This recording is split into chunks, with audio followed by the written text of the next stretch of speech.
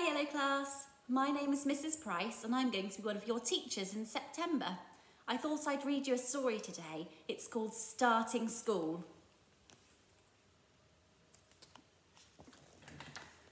The first day.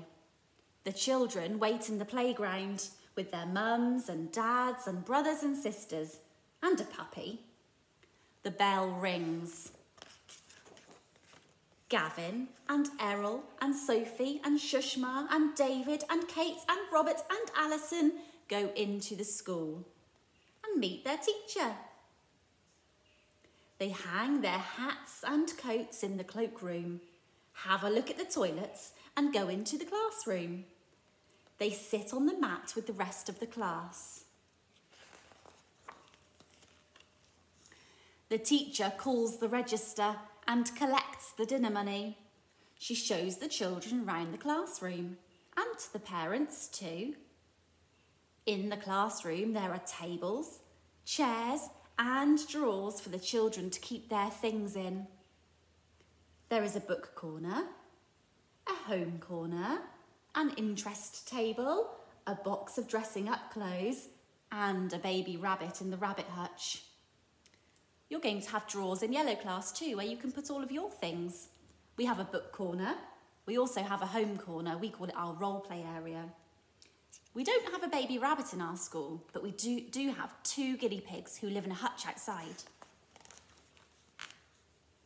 During the morning, Gavin and Errol and Sophie and Shushma and David and Kate and Robert and Alison get used to the classroom. And the rabbit gets used to them. Playtime, they go out to play. At dinner time, they eat their dinners.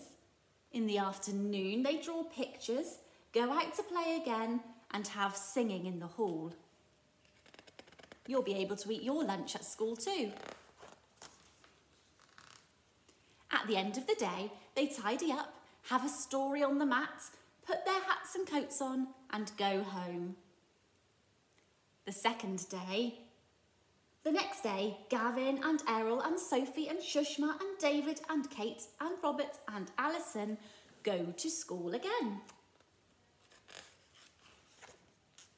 In the morning, they do a picture and some writing in their new books. After that, they have music and movement in the hall. Errol's mum plays the piano. Some of our teachers at school can play the piano. Playtime, Robert loses his hat and Alison finds it. Errol bangs his knee and the teacher rubs it better. Gavin and Shushma and David climb on the climbing frame. Kate thinks about climbing. In the afternoon, the children make some models. They show them to the head teacher, have a story on the mat and go home.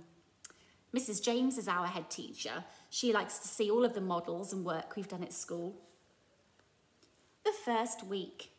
As the days go by, the children get more used to school. I think you'll get used to school too, the more you've been here. On Wednesday, they go into the hall for assembly. They listen to the singing and say a prayer. They watch some older children do a play. On Thursday, they started learning to read.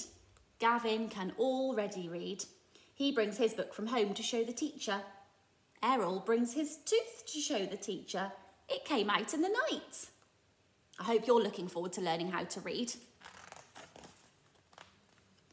On Friday, they go swimming in the school pool. The water is warm and not deep. Robert and Shushma and Kate jump up and down. David and Sophie walk in down the steps. Errol thinks about walking in. Our junior school just down the road has a swimming pool, but we don't have a swimming pool here. In the afternoon, Kate and Shushma and David do cooking with David's mum. They make 12 little cakes, three big cakes and a mess. Time goes by the next week, Gavin and Errol and Sophie and Shushma and David and Kate and Robert and Alison choose a name for the rabbit.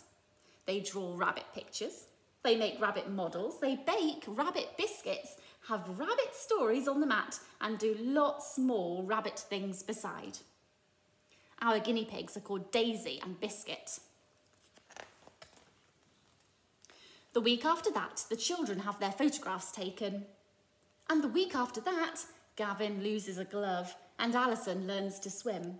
Sophie reads a book and Shushma shows her sari and her diva lamp. Robert thinks about being in a Halloween play. Sometimes you might lose things at school. We always ask that you write your name on everything.